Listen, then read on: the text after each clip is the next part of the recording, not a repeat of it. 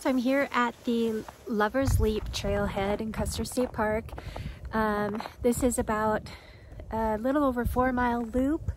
Um, it's about 33, I think, 33 degrees out today. It's a little bit chilly. The wind's a little bit breezy, but not too bad. Um, we're supposed to be getting some real cold temperatures here at the end of the week, so I thought I'd better get my hike in uh, while the weather's halfway decent. So um, you can see behind me here is um, Highway 16. And so there's a couple of buildings here, this kind of open building and that one. So when you pull off the road, you just kind of come behind this building is where the parking area is. And then you'll see this sign.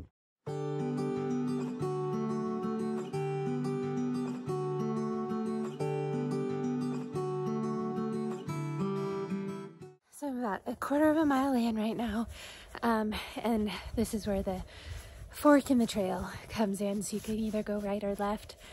Um, it was a pretty steady climb up to this point. Breathing a little heavy, got the blood flowing.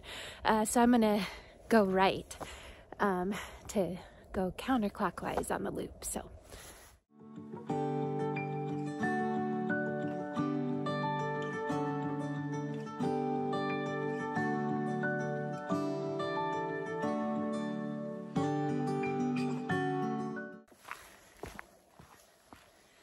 So, um, Custer State Park in the wintertime is a great time to um, visit the park and a great time to see wildlife. Um, I saw the um, bighorn bighorn sheep, a couple different groups of them on the way in, just right along the road this morning, which was neat. Um, and this trail, I've actually seen buffalo on it a few times doing this trail in the summer months. Um, they like to kind of hang out down by the water where it's shaded. Um, so I don't know if I'll see any today. I'm always a little nervous um, when I run across buffalo.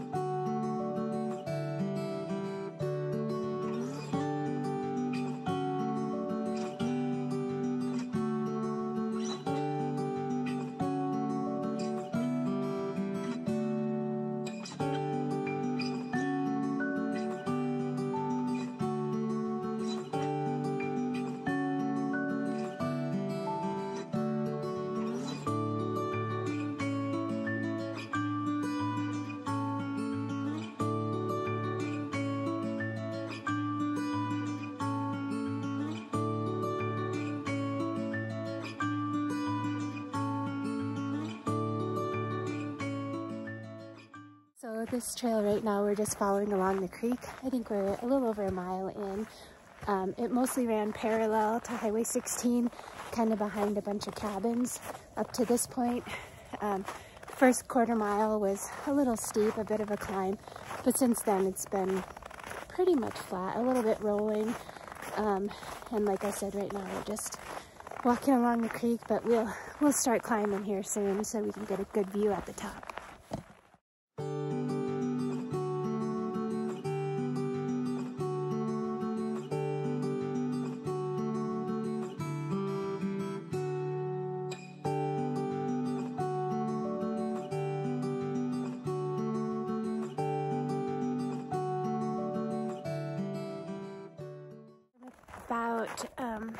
A little over two miles in and ended up having to take off my outer layer. It's getting a little warm. It's kind of down down in this canyon here, following alongside the creek, and it's just oh, stop right with the sun in my eyes.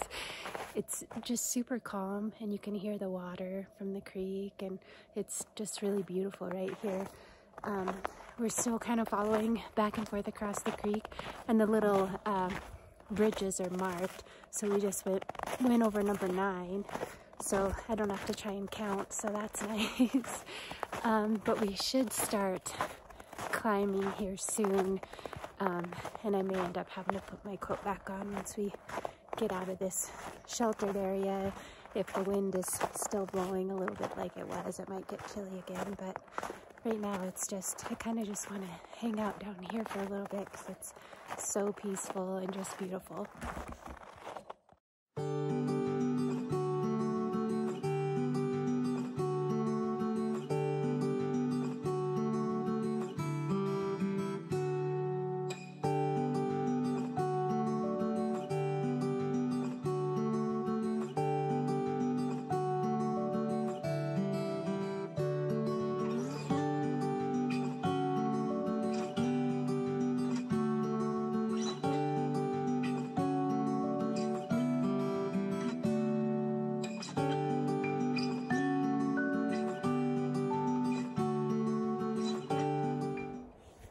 Okay, made it to the top here on Lover's Leap. Um, I'm at about three miles or so, give or take, um, coming, uh, let's see, counterclockwise. Um, so it's actually still pretty warm up here, even with the wind. Um, the sun's out. A lot of the snow up on top here, once we kind of got out of that canyon, is melted. There's just a little bit of snow here and there, but not too bad. Um, so yeah, I'm gonna grab a drink and head back down. Should be, I think about a mile, a little over a mile to get back to the trailhead from here. So um, yeah, the views are beautiful up here.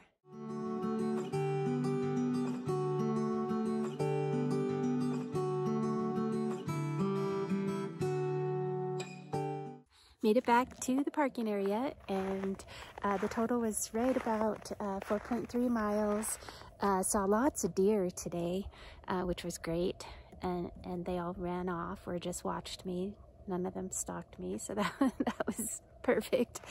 Yeah, it was a great day. There was some uh, snow covering along the trail, light snow um, as it followed the creek, uh, and then it was pretty clear up towards the top. Uh, so really perfect, perfect day to go for a hike.